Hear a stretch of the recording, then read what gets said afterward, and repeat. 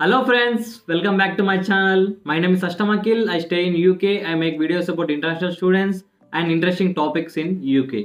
Guys, today I'm making this video to give you guidance for the people who are planning for the September intake. Guys, today I want to talk about two scenarios. First scenario is who want to start the process to come for the September intake in the first week of August and who already started the process to come for the September intake to study in the UK. First, let me talk about the first scenario. People who are planning to start the process in the first week of August to come for the September intake, please don't do it. Just stop the process because it's not practically possible. If it's possible, also you'll have so many mental tension. Like I will give some reasons why I'm telling not to do it. First reason is, guys, you'll start the process in the first week of August. To get the conditional letter, it takes 10 days, and for getting the unconditional letter, it takes 10 days approximately by putting all the IELTS certificate or facing Skype interview. And 20 days finished year only and now two steps finished conditional and unconditional. Now we want to get the CAS letter.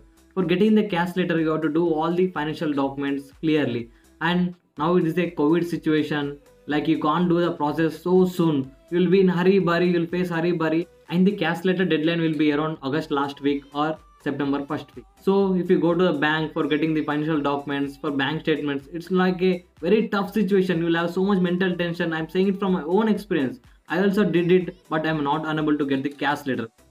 And I was a little bit disappointed. I didn't get the CAS letter. The CAS end date was around 28th of August. So I was so much mental tension, like going here and there for financial documents, because I started the process uh, like uh, very late in the first week of August. That's the reason I'm saying you guys, please don't plan for the process in the first week of August. Try to plan before two months of the course start date it will be very flexible to you also to do the process very cool and calm. Moreover it's a corona situation right? In india now the cases are increasing.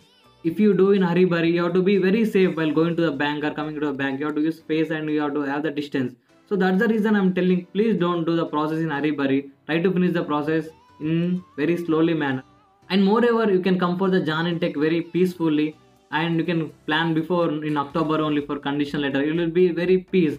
And one more thing is I have heard that for the September intake, mostly there will be online classes only. So, guys, if you come for online classes, it will not be good. You'll come to the UK to see the international exposure and to meet the other country people. You just sit in home and you see the online classes means it will not completely better, right?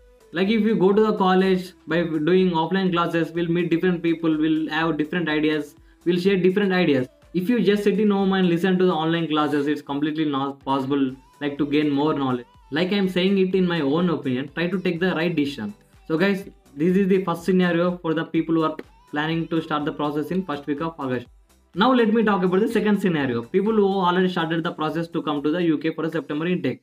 And guys one good news for you is that you need not to worry about covid.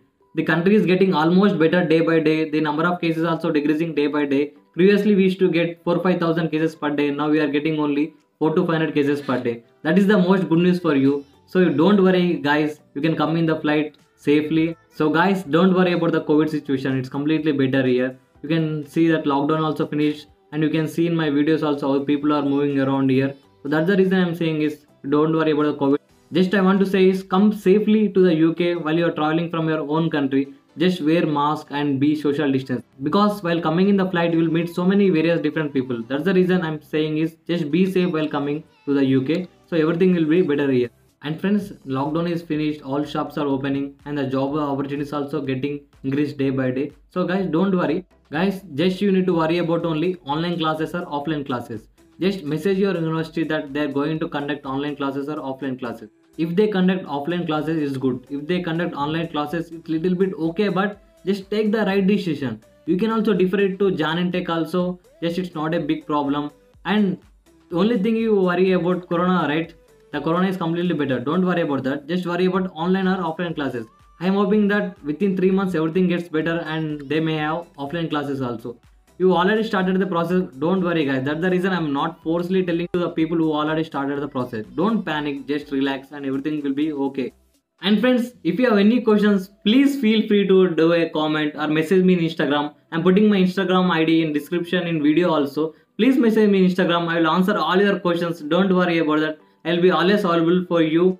I will reply you within one day. Don't worry about that. Guys, just feel free to do a message in Instagram. I'll share all my knowledge based on my experience. Don't worry about that. Guys, that's all about my video. Please don't forget to subscribe my YouTube channel.